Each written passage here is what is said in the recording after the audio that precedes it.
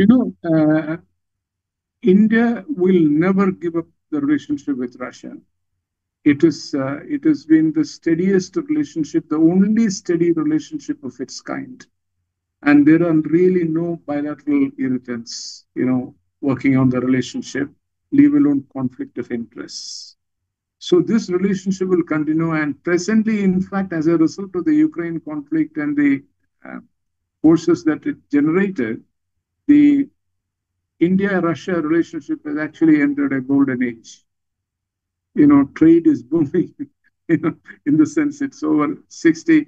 And I, in fact, even envisage a visit by President Putin to India uh, in a not too distant future, you know.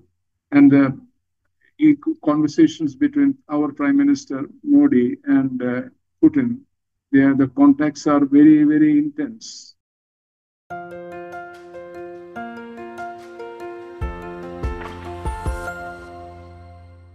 Hello, everybody. This is Pascal from Neutrality Studies, and today I'm very honored to be joined by a former Indian diplomat and realist thinker, Ambassador Bhadrakumar. Ambassador Bhadrakumar was a career diplomat for three decades in the Indian Foreign Service with multi-year assignments in the former Soviet Union, Pakistan, Iran, Afghanistan, and Turkey. Ambassador Bhadrakumar writes extensively on the geopolitics of Eurasia, China, West Asia, and US strategies. He writes a popular blog called Indian Punchline. He's a columnist at The Cradle and a syndicated columnist worldwide. Today, we want to discuss India, BRICS, and what the multipolar world order means for South Asia. Ambassador Bhadrakumar, thank you very much for coming online today.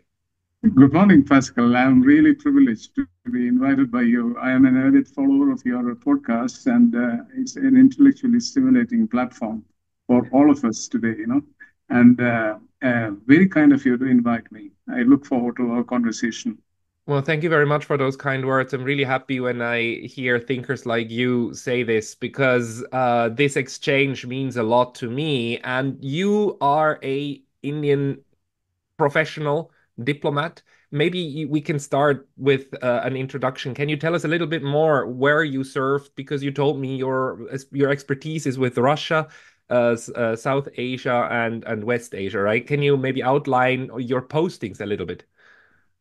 Well, you know, uh, we have a, a, system in the Indian Foreign Service that once you get uh, selected through an All India examination uh, into the uh, into the cadre, then a certain area, a certain foreign language other than English, English we consider to be our own language, another language other than English as a foreign language and then we get trained in uh, that. And you know then there is a certain kind of uh, expertise that one is supposed to gather there. So by way of that i was allotted i was uh, yeah, pretty high in my batch. And uh, you know i therefore asked for russian as my first choice and chinese as my second uh, choice. And i got the first choice which is the russian. So i served in the former uh, soviet territory three times you know and I was trained in Russian language in Moscow State University. So, uh, but then, you know, we have also uh, a, a, a, culture, a bureaucratic culture in India uh, to uh, train the Foreign Service people as eclectic minds. You know, that you are not buttonholed and, and uh, kept in a small niche and send, spending the rest of your time there, like Russian diplomats or Chinese diplomats, you know, who just go to their assigned territory, come back to headquarters, go back again, come back again, like that, you know? So that is uh, not how we do it. Uh, we create eclectic minds, you know, who can apply themselves to uh, various regions, various civilizations, cultures, and so on. So um, I finished my training and came back, and then as it happened, as luck would have it, I was co-opted into uh, the Pakistan desk. Uh, now, Pakistan, Iran, Afghanistan is one division in the one cluster in the foreign service here in our headquarters. And uh, it is, of course, a highly prestigious work, extremely challenging work, can be very frustrating. So it not only molds your personality and your work ethic and everything, but also is a highly sensitive desk and you get used to working under pressure. Now, something like about 13 years uh, to 14 years passed in my career uh, in this area. So, you know, uh, I really don't know, therefore, you know, what I am an expert in. My postings have been Soviet Union, um, South Korea, Sri Lanka, Pakistan, Afghanistan, as you mentioned, Uzbekistan, uh, again, part of the Soviet Union. I was ambassador there after the dissolution of the Soviet Union and when Uzbekistan became an independent country. And I was also at that time uh, Taliban, watching Taliban ruled Afghanistan. Then uh, I went to uh, Islamabad, Pakistan, uh, and I went to Germany, and finally ended up in Turkey as ambassador. so this is more or less the thing. I spent most of my time actually in the areas around India, and I enjoyed it. But I haven't had an exposure so much to the Western world. Which is very interesting though because now you also you write on an almost daily basis on on on your wonderful blog the indian punchline and you do like geopolitical analysis in more or less the, the tradition of the realist school. And um what is your observation at the moment of um how India is developing inside BRICS and how BRICS is is is developing as a as an alternative approach to to uh, a world to world order? You see, uh, let me start uh, saying at the outset that I, my conviction, my belief, my my estimation is that uh, BRICS is still very much a work in progress. Yeah. BRICS was conceived uh, before the world lost its innocence in the sense before this uh, Ukraine and all that, you know, uh, in rather innocent times. And when uh, Medvedev was the president of Russia. And at that time itself, it was, uh, the thought was there that the Bretton Woods system and uh, the um, evolution of the international financial, economic, political institutions like United Nations and so on were becoming archaic, you know, and uh, uh, upgrade is necessary because the international situation had changed and a lot of new forces had appeared in the world politics. And unless they get reflected, the decisions taken in these institutions will not be relevant anymore, you know. So this thought uh, germinating in the minds of the Russians, Indians, and Chinese um, brought the two, the three leaders together for the first meeting, which took place, if I recollect correctly, in Russia. And uh, there, uh, Medvedev was the Russian president at that time. Uh, then, you know, uh, the thing is, uh, climate change and lots of other issues came. And uh, the progress was very, very, very slow, BRICS you know, that we went through the ritual of an annual meeting but uh, other than that, nothing very substantive took place. But a sense of urgency came suddenly when, uh, you know, the world began falling apart from in the last two to three years' time.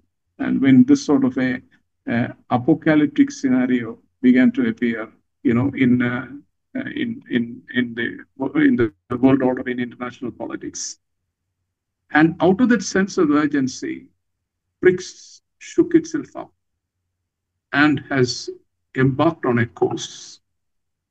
Now, uh, conversations have taken place to harmonize viewpoints, but you know, BRICS is a very, uh, very formidable challenge because uh, in BRICS, you know, you do not take any decisions other than through total consensus, you know and there is no imposition of any by any country its views on the platform.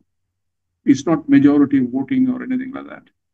So uh, a culture needs to be first of all developed because uh, these three countries which initially formed BRICS, that is India, uh, Russia, and China, they between them, amongst them also there were differences, different viewpoints and different priorities, and even certain strains and tensions in the relationships.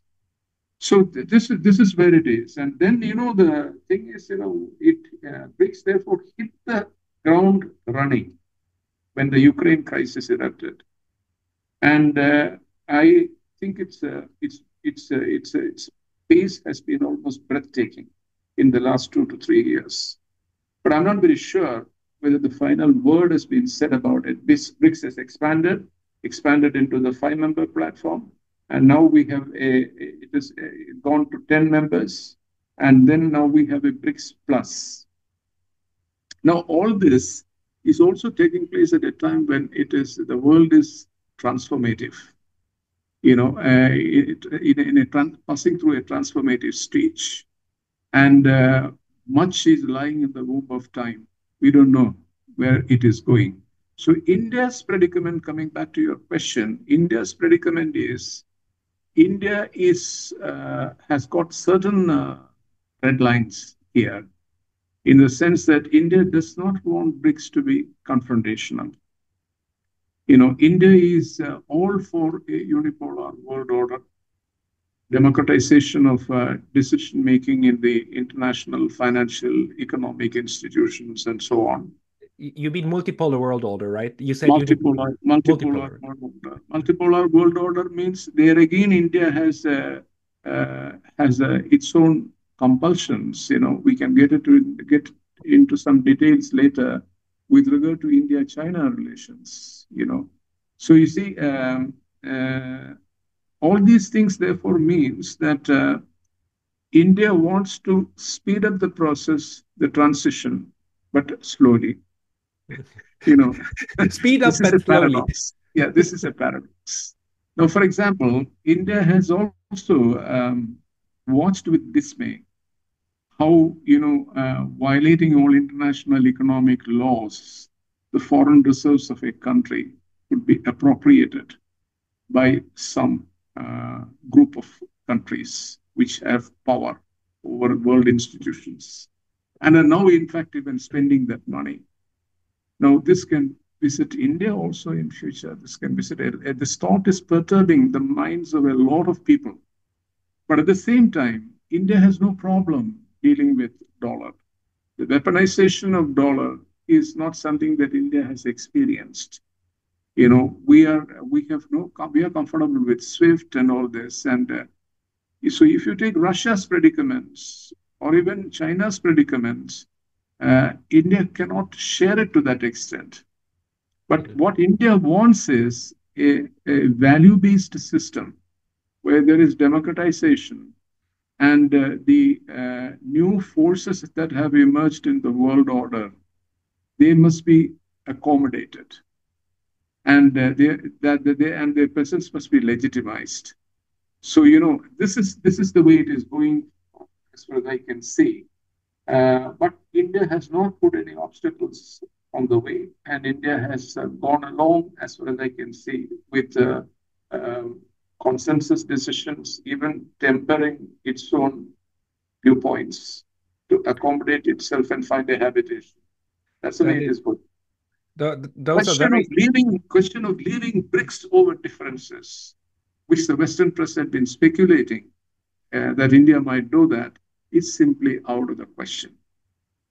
India is not going to leave it, and India understands fully well the great importance of this platform uh, as it is working with all its uh, nebulous, incoherent character of functioning with no institutionalized uh, platform is working. But and India feels that if it is not there, it would have had to be reinvented. It had to be invented today the world needs it. So there's no doubt about that. I completely agree with you. The interesting thing is, of course, that leaders in Washington and in Brussels, the collective West, they look at everything through the prism of friend or foe, with us or against us. And at the moment, they're at a stage where they prefer to just ignore BRICS. It was like very ominous uh, how the Kazan meeting in Russia was just mostly absent from the major news platforms in in Europe and, and in the US. I was quite surprised. There was like at, at best there was a mention that some meeting took place, but that was it. When in when in fact this was a very uh, momentous uh, meeting, of course, because a lot of a lot of decisions that are very impactful in the future, like having a, a, an additional category of states, of partner states. That those are very important decisions that were made. Um, uh, the interesting thing that you're saying is that BRICS will not be confrontational against the West, right? It will be it will be complementary, and India would like to keep it that way. So India will also try not to let Russia and China maybe if if the aspiration was to use it against the West, India would certainly be a, a, a stop would put stops to that, right? Yes, absolutely. Because you see, the point is uh, already, you know, do not do not underestimate the ground, the, the the the dimensions of the ground that have been covered, and already in these last two to three years, you know, for example, this system being evolved for local payments in trade and uh, transactions between the BRICS member countries. BRICS lending institution, a bank has been created. Now, these are very solid achievements and already as a as an observer, I am discerning that uh, the shine is going out of the G7 already. You know, G7 was the only sheriff in town, and that's no longer the case. So now, from this point onward, it can only be incrementally getting reflected that this platform, BRICS, in fact, represents much better portion of the world in terms of the GDP of the economy, their economies, population base, and growth rate, and so on. So um, it is it is extremely important for India, in my uh, my assessment. I think so too. I, I have a question though, like how um, how do India and China manage to use this platform? Because on the one hand, there is now this this bond between the two, and they they decided that they want to work together with the Russians and the Brazilians and South Africa and everybody else. At the same time, there are still border disputes. This is this is highly a highly creative way of I mean, India and China have highly creative ways of dealing with conflict and making sure conflicts remain below the threshold of of open violence, right? Is BRICS helping with that process? See, BRICS, BRICS can in, indirectly help in the sense that, you know, that um, when you have differences with uh, another country, uh, when you work with them on issues which are not part of these differences, but where there is a common ground possible. Uh, the alchemy of your uh, uh, your uh, difficult relationship, otherwise difficult relationship, the alchemy changes. It is not perceptible always. You know that even in the past, the border issue, for example, is nothing new. But uh, we know very well that in the Copenhagen summit, for example, India and China came together on climate change. And uh, it, it completely unnerved the industrial countries. And uh, in fact, in one meeting, a closed door meeting which was taking place between the prime ministers of India and China to uh, work out a formula so those so closely they were working. A closed door meeting, and the security guard stopped Obama. And Obama said, and the president and Obama just walked in to break up that meeting and join that meeting there. Now you see, uh, so you can imagine, you know, such things have also happened in the past. So uh, this unfortunate uh, incident in the Himalayas you know, in the uh, this uh, border skirmish which took place was different. It was very different. It was very traumatic for India because you know, uh, a largely peace in a largely peaceful border, you know, blood had been shed, and that you know uh, creates an impossible situation to proceed further in the relationship. So India just left the trails, you know. But now that you know uh, the disengagement of forces, and uh, followed by that, uh, further in the downstream, the negotiations which are both sides are getting ready. Um, I envisage a gradual opening up and, uh, and uh, opening up in terms of a strategic communication beginning. Uh, and uh, in that uh, process, certainly BRICS can help. BRICS will be BRICS will give impetus to that process.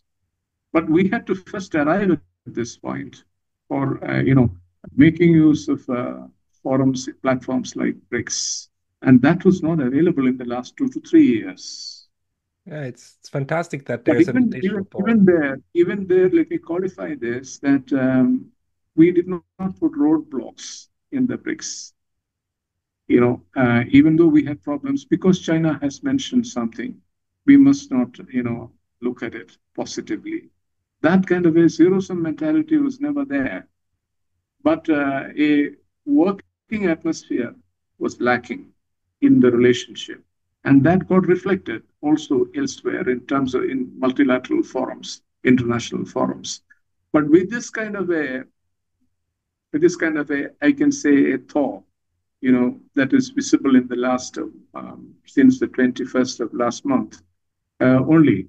Uh, if this process proceeds further and gains traction, these negotiations and dialogue, then naturally other things will open. Now, mind you, the uh, common interests also spread to the bilateral relationship, in the sense that uh, even in the dark period that we passed through, the two to three year time period, India China trade was booming. And for India's manufacturing industry, uh, sourcing from China is there is a criticality about it to, to, to be competitive you know, because China is next door, China's pricing, China quality of China's products, and the logistics of it getting things over, all this taken into account. And the government of India never prevented the big industry in Indian industry from sourcing from China, whether it is in terms of heavy cranes, whether it is in terms of machinery, you know, to tunnel through mountains for uh, developing roads and things like that. And China has tremendous expertise in that and the uh, relatively speaking, the equipments that we would otherwise have bought from the Western countries, you know, they would have been prohibitively expensive, and the budget would have uh, just gone through the ceiling, you know. So companies, uh, private companies, you know, who are in the business, they are interested in sourcing from China, and they are aware of the potentials of it. In fact, one uh, compelling force that is working in the Indian system, at least I can say, is this the awareness that uh, this is a relationship which can contribute to India's overall development. And that awareness is there, you know, in uh, business circles, and business circles are invariably very influential with the political leadership. And uh, I have a feeling that even at the present level, even at the level of the leadership, that realization is there. So I am cautiously optimistic I I I share that um, even just because it's it's more opportunities to actually exchange, but at the same time we see how the United States is also trying to, of course, have a good relationship with India as much as possible and actually build what they're now calling minilateralism, right? Uh, India is part of the Quad and the, the U US and especially US uh, uh, analysts often interpret that as an alliance with India and, you know, being stronger together against China. Um, so while while India clearly says it doesn't want to to to have this this adversarial relationships part of people uh, others that work with india interpret themselves as with india in an adversarial relationship. How do you make sense of that? Um, also the working with the quad and and the indo-pacific strategy of the americans? You see it's not really very difficult for india because uh, you know the um, the pivot of india's foreign policy is its uh, strategic autonomy. And this is uh, not something which India invented. This is something which is derived from our anti-colonial struggle. You know, the uh, uh before the independence, the freedom struggle, as we call it. You know. Mm-hmm. So you see, uh, this has been found to be very useful and necessary for India. And this strategic autonomy really implies that, you know, that we will not be the military ally of any country, not only the United States, but even of Russia or some other country. And uh, we will reserve our independent, uh, our capacity for independent judgment, independent pursuit of independent foreign policies. Because the core is in terms of our safeguarding our interests. And therefore, the strategic autonomy is very important. And those Americans who claim that it is an alliance system, I think, you know, uh, sometimes, you know, the bombastic rhetoric, you know, and I think the uh, well informed people and the people who matter in the American system, they have, they not only know that it is not an ally, alliance, and they are even reconciling with the reality that India can never be an ally, like France realized much earlier. Yeah. You know, it can never be an ally like that. So it'll, uh, it, it can be a partner and it can be a very consequential relationship for Western interests also and for Indian interests. But uh, a block mentality is not something that can be expected from India. Now, this is something that I'm very interested in. Also, in terms of jargon, like strategic autonomy is clearly a very positive concept that that's currently used by a lot of um, diplomats and also uh, policymakers. Um, how do you differentiate strategic autonomy from non-alignment from neutrality? Uh, maybe I should rename my channel to strate uh, strategic uh, autonomy uh, studies, but um, they, they somehow go together, but they're not the same. What's your what's your take at that? You know, our for present foreign minister, who was a professional diplomat before, um, he presented, projected a concept which was very striking, and it uh, probably gives the best expression to what is happening. He said that uh, it is not uh, non-aligned. Uh, the strategic autonomy cannot be looked at it in terms of non-alignment. But what is taking place is actually multi-alignment. You know, there's a difference. Mm-hmm. You may you might think, you know, that uh, constructive engagement is necessary for India because since the 1990s, since the end of the Cold War, India has been diversifying its interests. Market entered the Indian economic policies in a big way. And to the extent possible, India had begun to globalize. And because the stress was on uh, giving spur to growth and facilitate development and create an external environment which is conducive for that. Because you, you have probably you're not aware of the staggering dimensions of the unemployment problem in India. We have covered a lot of ground in eradicating abject poverty you know, as it existed when the British left India. But uh, unemployment is a very big problem because these universities are churning out tens of millions of uh, youth into the market, into the system, and they must be getting employment. Otherwise, you know, a socially explosive situation arises, which may even undermine the foundations of India's democratic system. You know, it can happen, you know, so it is not happening, and it is we are nowhere near that. But I am saying that you know that this is the specter that haunts India's policymakers, and uh, therefore you know the the stress is so much on that that aspect of it, you know, and for that purpose now we need technology, we need capital, we need markets. If you take United States for example, United States is India's biggest trading partner China along with China is still, but and the qualitative difference is the United States, we have actually a balance of trade which is in our favor. Unlike with the case with China, we hardly export anything to China. But uh, in the case of the United States, Indian export industry makes a lot of money in that. And then there are other aspects to it also, you know, that hundreds of thousands of Indians, you know, students go there year after year to the US for study. And there is a Indian community there, uh, which is uh, flourishing, which is uh, really high quality, of high quality in terms of their educational background and so on. And you can see uh, their, their presence now in all walks of life in America. So it's a, it's a, and then, uh, you know, as the relationship is warmed up in the post-Cold War era, there is a greater willingness and readiness on the part of the United States to transfer technology to India. And we are still not happy with the pace of that transfer, but that's a different story. We would have liked to have much, much uh, smoother and much bigger volumes of transfer of technology, cutting edge technology to India. And uh, now we are even beginning to uh, discuss about how to collaborate on artificial intelligence. So we have we are entering that kind of frontier areas, you know. So uh, these are not things you know which we can get from other countries. I don't think at this level of technology is um, Russia is anywhere near it, you know.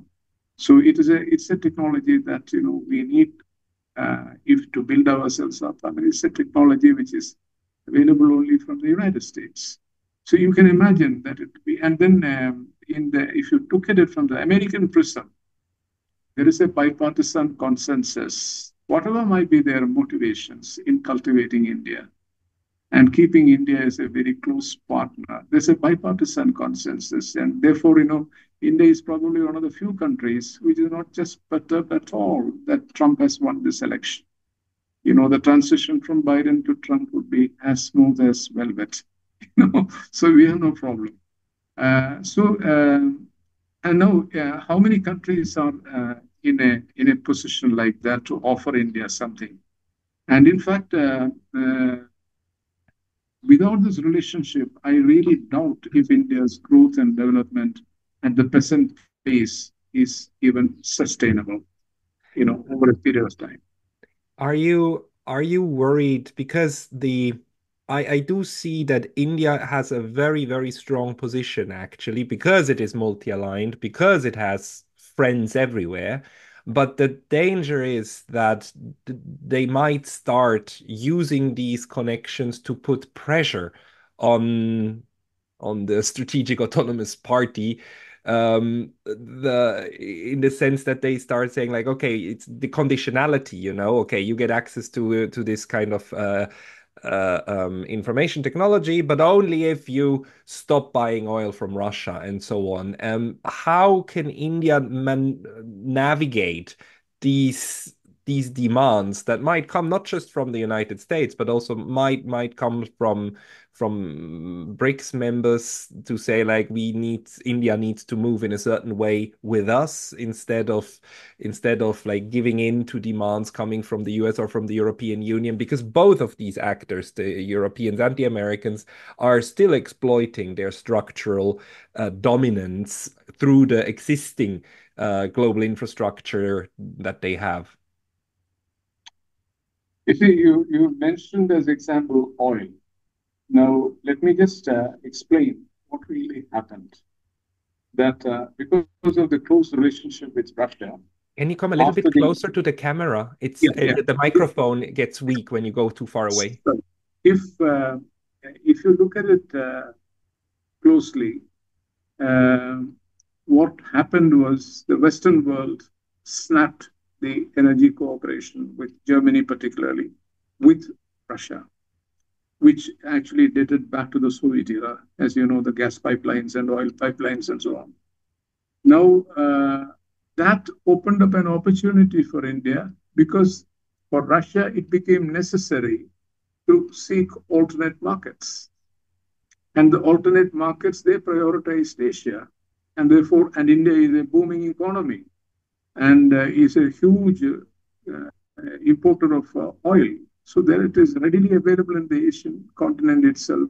So the Russians also took a lot of interest because at earlier time, they were in a very comfortable position just transferring to Europe next door and making money out of it, you know, good money out of it. And they were really not pursuing at all the, uh, the opportunities of the Indian market. Now that opened up. Now, this is not something that we created. This is a fact on the ground that appeared as a result of the tensions between the West and Russia. And Russia was also under compulsion to sell it at competitive price, the product. And uh, if, uh, I mean, it's common sense if somebody is, uh, you know, uh, offering you a product at such competitive price with discount and uh, unlimited potential for in terms of volume to meet the uh, uh, requirements of the economy, which will keep the engine running here, who will say no? So this is strategic autonomy, actually, in, full display. And I told you that in terms of our interests, it's strategic autonomy, and India would not would not have allowed anybody to stop it unless they offered similar terms of energy to India. And then, then there is a twist to the tale also after that, what happened. This oil that we took from Russia meant that India vacated the world oil market. Otherwise, you can imagine the spiraling effect of it in the Indian in, in the world market in terms of oil price. So the Western world had to source from alternate sources. And those alternate sources became affordable, became, you know, uh, not so pricey as it would have been if India were also buying it. Hmm. Like, you know, we, uh, we were buying very heavily from the Gulf region.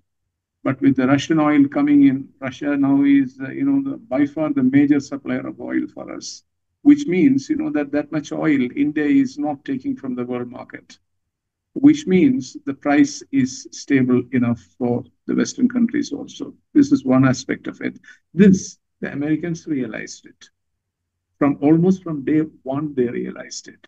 So the rhetoric apart, the rhetoric that you know India is you know like uh, the EU Commission president, you know she's a, a very aggressive personality so she said, you know, that you will be uh, finding yourself in a foxhole, that you will suffer reputational damage and all that.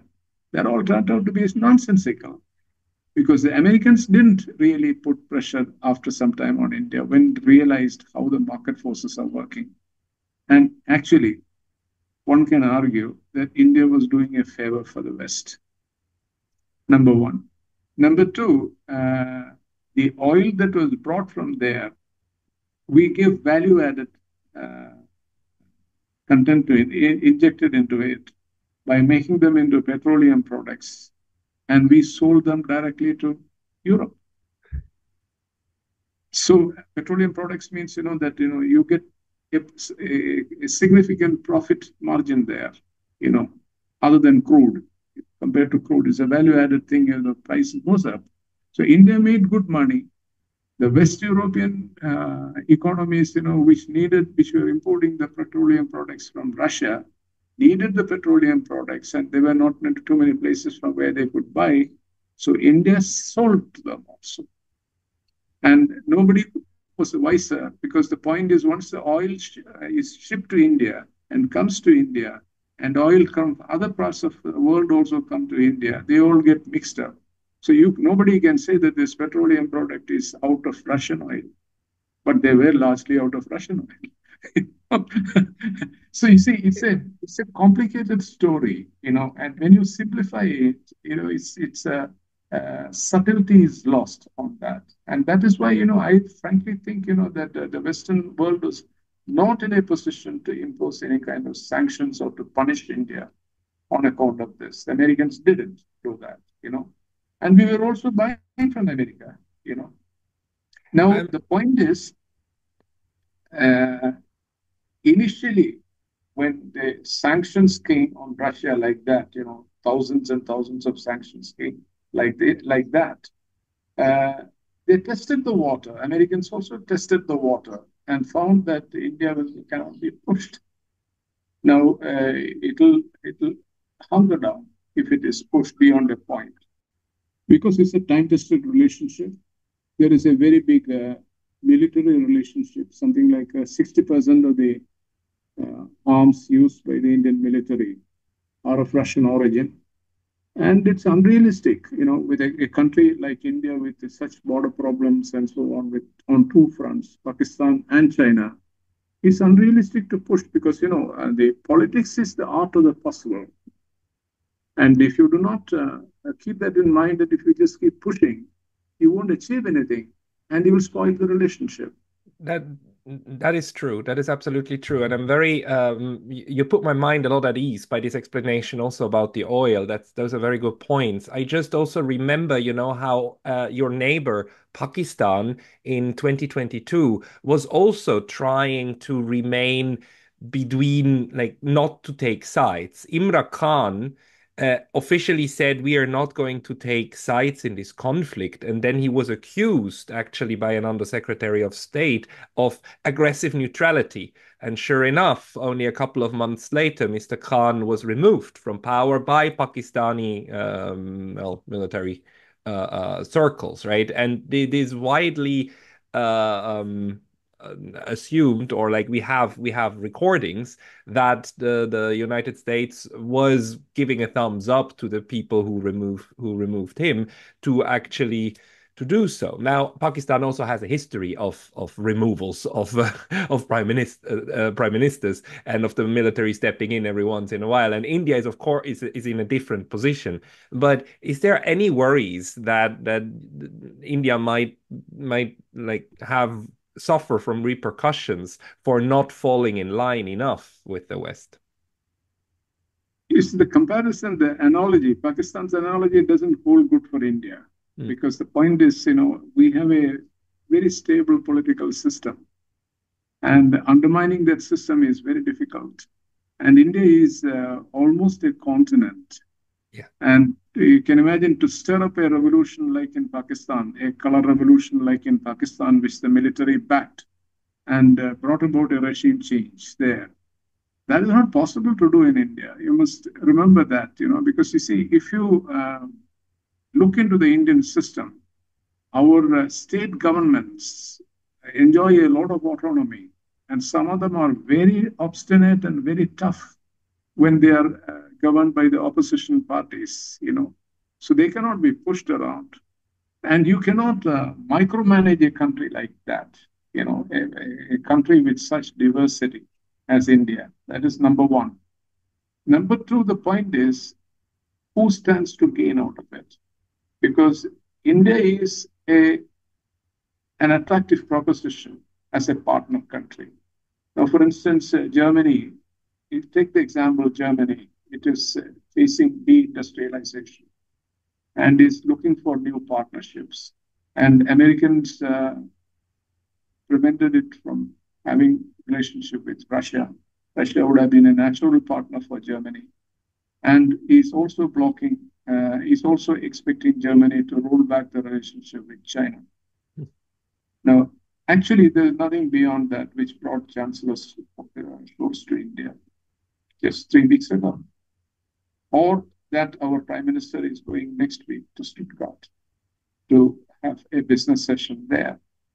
Uh, you know, what, I, what I'm saying is that uh, it is uh, common sense that you don't kill something which is very productive mm-hmm. because you'll be shooting at your own feet. Number two, the point is, you know, it's a it's a growing market, fast growing market how many markets are there? This is actually the last big unexplored market in the world because Indian uh, market has been a sheltered market. And we have, you know, very shyly, very incrementally, we have opened up our market. It's uh, still a long way to go. So no country will want to uh, deny itself the business opportunities in a market like this. In, in, in the present situation where, you know, protectionism is uh, a phenomenon all over the world. So, you know, when you take all these things, and then another thing is, as I told you about BRICS not being confrontational, actually, this is Indian DNA, you know, in the sense that, you know, that we are not confrontational. And we have not taken sides with Russia or Ukraine also. And uh, we are not confrontational with the, and we are not got into rooftop and you know started becoming very rhetorical about you know American intervention in Ukraine. Because what takes place, the Americans also have intervened. It's a proxy war. And uh, why, why did you do this NATO expansion? We are not asking those uncomfortable questions also. We understood everything that is going on. And these are the realities of international life. And we went on with our own life. So, you know, when a country does it like that, where is the scope, in fact, you know, for pressuring it? Pressuring means what? They will themselves be losing something out of it, out of this relationship. And it is the United States' formulation, President Biden's formulation, that India is one of the most consequential relationships of the 21st century. It's, it's I'm actually quote unquote, I'm saying the expression. So uh, when there is, it's, it's so profoundly meaningful, the relationship is, it's not going to happen. And India is uh, smart enough to understand these things. And in any case, uh, we have a leadership which is very nationalistic. And I don't think that, you know, that they will, in any case, you know, surrender the legitimate interests or play or allow India to play a subaltern role to any foreign power. So I think the Pakistani analogy doesn't hold good for India, you know, if uh, if I may submit it that way.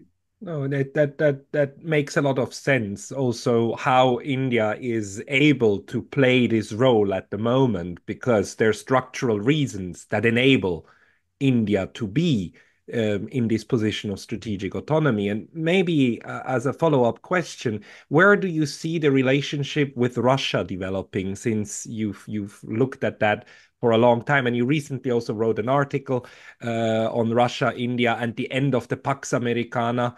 Um, because you're saying both of them are early movers. Can you maybe explain that um, that notion a little? You know, uh, India will never give up the relationship with Russia. It is uh, it has been the steadiest relationship, the only steady relationship of its kind, and there are really no bilateral irritants. You know, working on the relationship, leave alone conflict of interests. So this relationship will continue. And presently, in fact, as a result of the Ukraine conflict and the uh, forces that it generated, the India-Russia relationship has actually entered a golden age. You know, trade is booming. You know, in the sense it's over 60. And I, in fact, even envisage a visit by President Putin to India uh, in a not too distant future, you know. And uh, conversations between our Prime Minister Modi and uh, Putin, there the contacts are very, very intense, you know. And uh, there is a very good understanding of the Russian concerns in the Indian mind. And there's a very good understanding of uh, how to handle India on the part of Russia also. And Russia has never pressured India Russia has never made demands on India, and that you know that you do this, you cannot buy this from that country, you cannot uh, do this with the United States. They have never told us that. So uh, that is out of uh, the partnership that developed through the last uh, you know five six decades, without any problem-free uh, relationship that developed. So I think that will continue. And that is why uh, in, the, in the Western media, there's a lot of uh, speculation whether there's a big uh, jump in uh, China-Russia relationship, you know, it's at a height which their history has never experienced before, the China-Russia relationship. Now, uh, common sense is like this. I mean, it would appear to be common sense that when India has a problem with China, when China has a uh, China has a close friendship with Russia, India should be careful about the relationship with Russia. No, that's not really the case. What is happening? You know, because India is extremely comfortable with this one that uh, Russia will never, never, ever hurt Indian interests. So, you know, that is the kind of uh, matrix of understanding that is existing between the two countries. And the rest is so the uh, the relation, India's relationship with America is something that uh, Russia can learn to live with. And it will not, they know that it will not come at the cost of India's relationship with Russia. That's a that's a very it's actually a very very beneficial position to be in, and at the same time, India is also very well received in in Japan and South Korea, and the I think also with ASEAN, India has nothing but beneficial relationships. Um, it's a kind No, of a pole position at the moment. yeah, I actually uh, I must actually add a caveat there. Yeah, from my point of view, you know, is that uh, the uh, Indian foreign policy must diversify further. You know, that uh, for instance, you mentioned about ASEAN. I am uh, very unhappy that sufficient attention is not being paid to ASEAN, you know, by India. It's a fast-growing area. There's great civilizational affinity between that region and India. Even our epics are, you know, popular literature in. Uh, you've lived in that part of uh, Asia, isn't it? Huh? You have lived in, no? I've never lived in an ASEAN country, but I've traveled to many of to a few them. yeah, But yeah. So you can, you know, the the traces of uh, the civilizational bonding, you know, still exist there.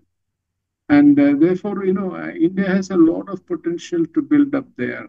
I was happy that, you know, that uh, our foreign minister undertook a serious tour of the region to, uh, recently on this. So let's hope it happens. You know, uh, the Middle East is getting a lot of attention in the Indian uh, foreign policy. And it should not be a US centric, should not, like, you know, the common parlance, let me say that it's not also useful to put all the eggs in the American basket. You know, it's uh, we must also have our own. Uh, more, more and more other countries are also doing the same way, and they're also following India's example. Look at Saudi Arabia, for example, the United Arab Emirates. You know, they are very strong allies of the United States, but now you know they have gravitated towards BRICS. You know, so do, do you think do you think these states are learning like from other BRIC states, including India, how to how to be more multi-aligned?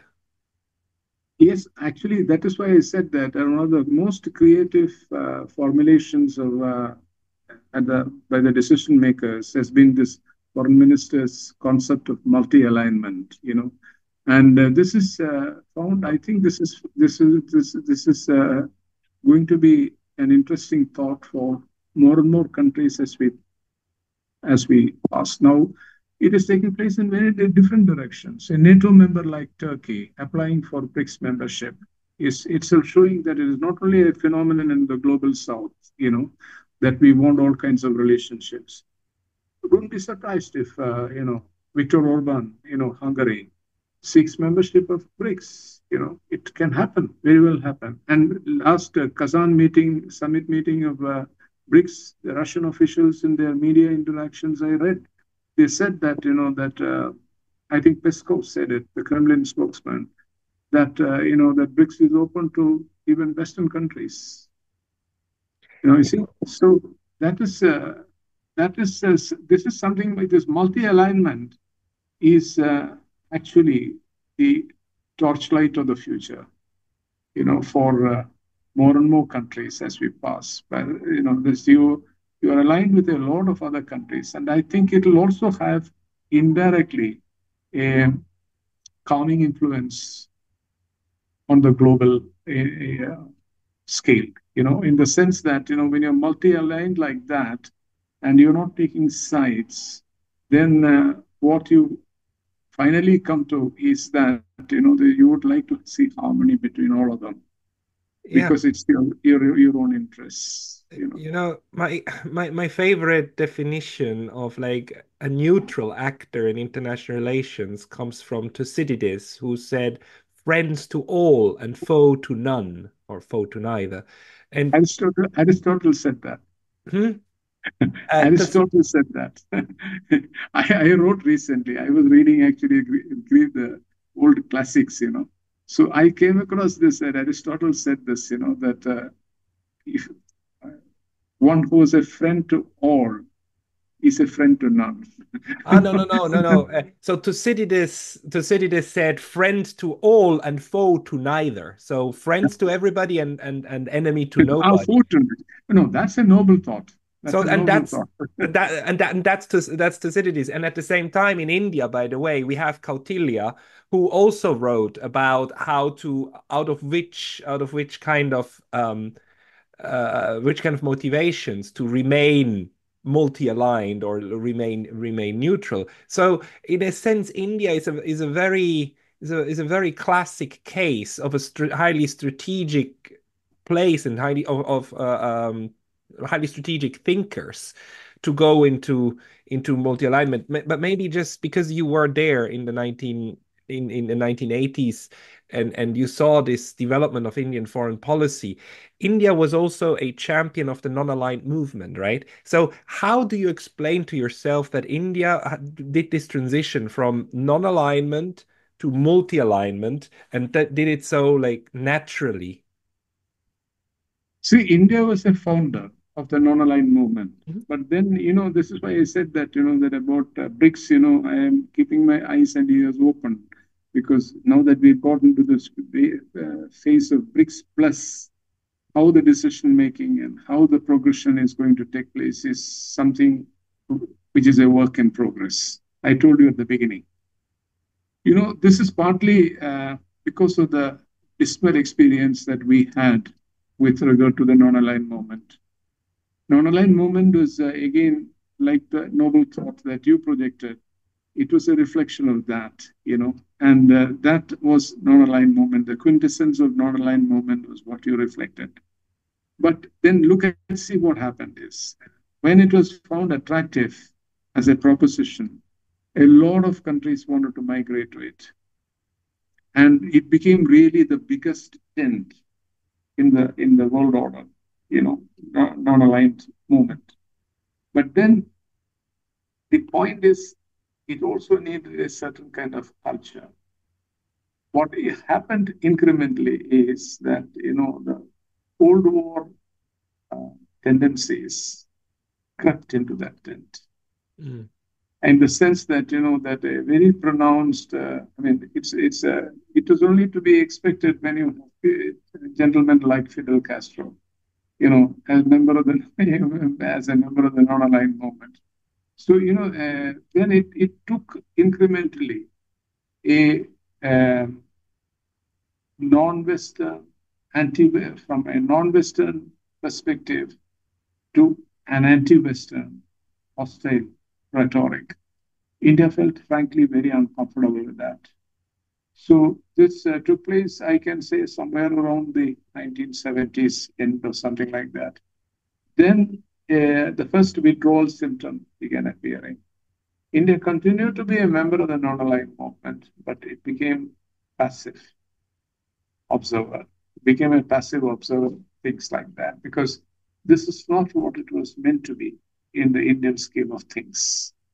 And uh, to, you know, pitting one against the other or anything like that. So, you know, the uh, multi-alignment is actually, uh, as our foreign minister conceived, you know, he is also, as told mentioned to a career diplomat with a historical memory. Uh, is a is an adaptation of the positive impulses of non-aligned movement before the hijacking took place, uh, and its application to the new circumstances in the international situation.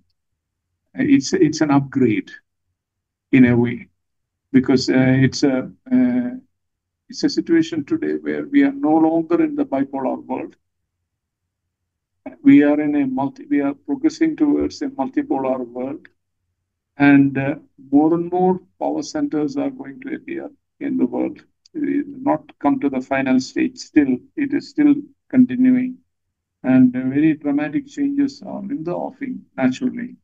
So then uh, multi-alignment will mean that you know a very big basket of partnerships you know is going to develop there.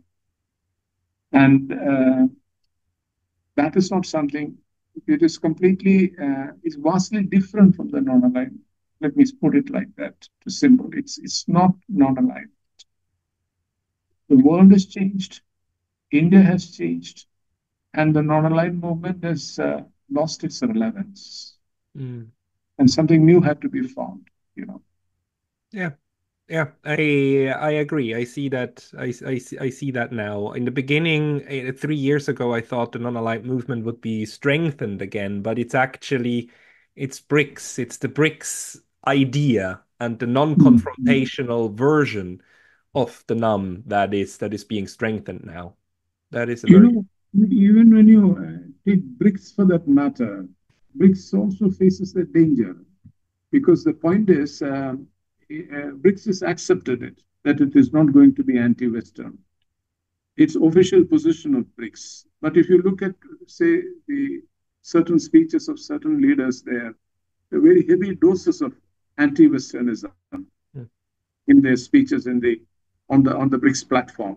You know, so there is always a danger of that kind of a thing happening. And if that kind of a thing happening, I think I think frankly in that case, BRICS will lose its relevance and will lose its uh, influence and uh, uh, its attraction to a lot of countries. And India will feel definitely uncomfortable with that. So uh, I think we, we will not go into a that kind of a gloomy prognosis is not necessary because we will not go into that. Much of what we are happening today is in the heat of the moment, you know, this proxy war that is being fought there. And if a settlement takes place, Russia actually is a European power. And if, uh, you know, it goes back and takes a place in, the, in a common European home, then everything changes. I'm not trying to say that Russia will give up all this democratization of the world order and so on once bitten, twice shy. Russia will definitely pursue this track.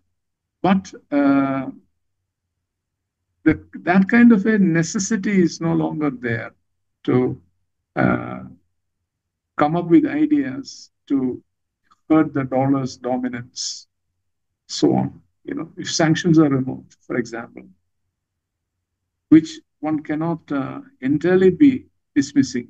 If sanctions are removed against Russia, and it can trade in dollars. Where do we stand? Then it stands where India stands. And Russia is a booming economy and it's massive reserves, you know. So uh, everyone stands to gain, isn't it? Mm-hmm. Yes, yes, I absolutely agreed. Um, we unfortunately we reached a one hour mark, and um, I would like to thank you very much, Ambassador, Bhadrakumar. I mean, this was this was very uh, enlightening. If people who would like to follow your analysis, they should go to your blog, right? Yeah, my blog is uh, generally, you know, I put everything that I write unless I I forget something uh, in, into the blog, and I have a website, you know, so that website uh, captures it, you know, all my writings. Yes. Yes, and by the way, if you if any one of you uses a uh, RSS reader, you can just input it there, and then you you automatically get the new the new articles from Mr. Bhadrakumar. Uh, oh, is it so? I'm if not tech savvy. I'm not tech savvy. and it's called an RSS reader. RSS reader, and then you just they are okay. most of them are free. You add you add the homepage, and then the new articles will pop up like on a on a news on a news feed. It's highly.